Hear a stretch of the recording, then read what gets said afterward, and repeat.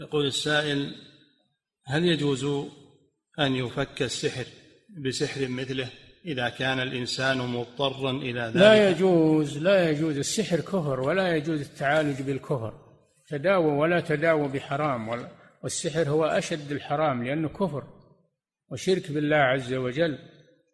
من سحر فقد أشرك. لا يجوز هذا. وأيضا هو كفر تعلمه وتعليمه.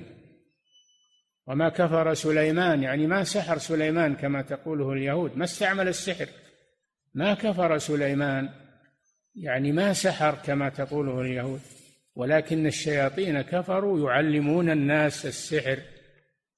وما أنزل على الملكين ببابل هاروت وماروت. وما يعلمان من أحد حتى يقولا إنما نحن فتنة فلا تكفر. يعني لا تتعلم السحر.